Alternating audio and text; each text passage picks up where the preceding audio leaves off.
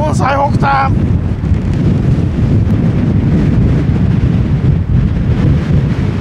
というわけで北海道は稚内に行ってまいりました。ちょっと鴨編集長まで行っちゃってるじゃないですか。面白かったですよ。楽しそうだな俺面白かったですよ。寒かったですけど。本当に寒かったね。稚内まで来ました。寒くないぞ。寒くないぞえー、ただいま1月末の、えー、北海道稚内でございます。ここが大沼っていう、えー、まあ夏場は沼湖というか沼で、えー、もうこの広大な面積が凍っております。表情トライアルに挑戦です。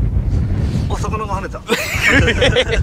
今回は、えー、鎌田拓馬選手の、えー車をちょっとお借りしてダートラマシンに、えーとピンスパイクっていうんですか、えーを履いて、えー表情トライアルに出ちゃいます。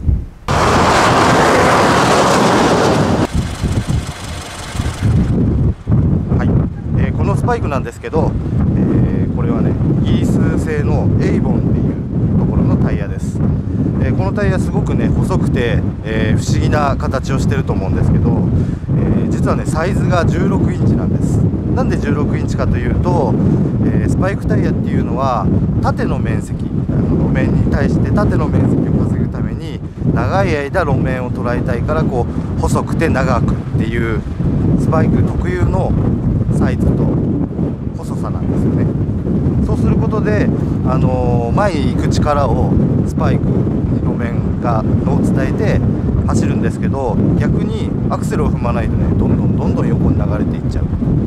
だから走り方もすごく特殊なんです。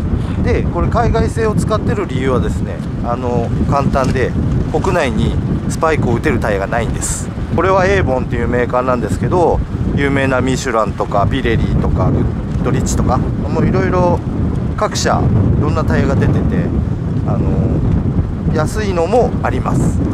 でも安いのだとねまた抜けちゃったりもするので僕のタイヤ実はねこれ9年使ってるんです。よ年使っても大丈夫なぐらい、えー丈夫なスパイクもあります。これ1本8万円します。サイズで言うと11065016っていうサイズなんです。氷の上走っててもピンが氷を捉えるようにサイドはがっちり作ってあります。全然違うよな。そうですね。全然違いますね。でスタッドレスだと「あれ!」って言ってるだけですけど、うんうんうんグリップが安定したダートね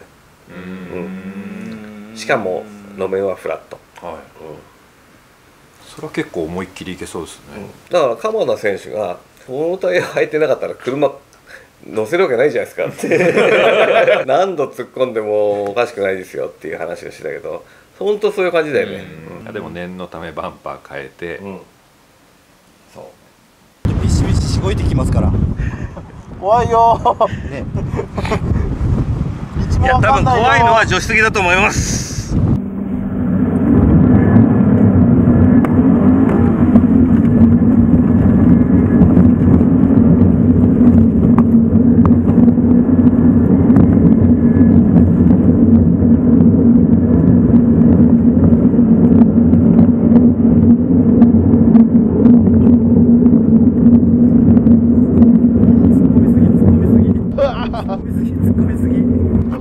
全然曲がる気配なかったよ。こういう時サイドね。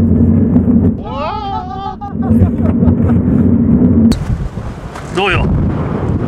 楽しい楽しい。怖くない。ちゃんとグリップがある。すごい楽しいです